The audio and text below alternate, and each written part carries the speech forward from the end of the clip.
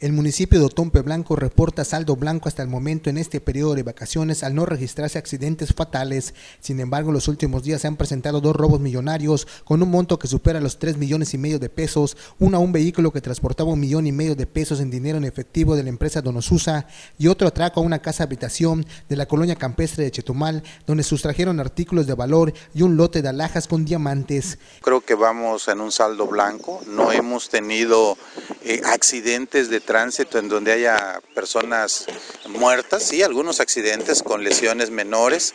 Eh, no hemos tenido actividades que pongan en riesgo la vida de las personas que nos visitan, eh, que vienen de otros estados, de otros países, o la misma eh, la misma gente de nuestro municipio que se va a un balneario como de Costamaya, de la Ribera, o sea, no hemos tenido ahí actos sobresalientes. Sí tuvimos tres, este, dos asaltos, una, un asalto a una empresa de valores, a una empresa que se dedica al comercio de abarrotes, la otra un robo a casa habitación y una persona lesionada por arma de fuego, pero nada que empañe el procedimiento del proceso de vacaciones.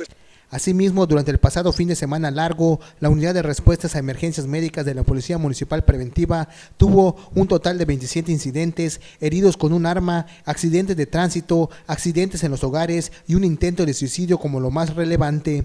Afortunadamente esta Semana Santa no tuvimos ningún hecho relevante. Lo más relevante que tuvimos fue un, fueron dos, dos jóvenes que se lesionaron con un rifle calibre 22, pues por el mal manejo del arma, fue accidental. Accidentes tuvimos siete accidentes, lo normal de cada fin de semana.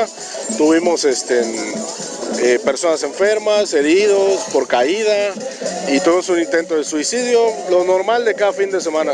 De acuerdo a las autoridades municipales, el saldo blanco es temporal, puesto que aún falta una semana de vacaciones. Para Notivisión, José Palma.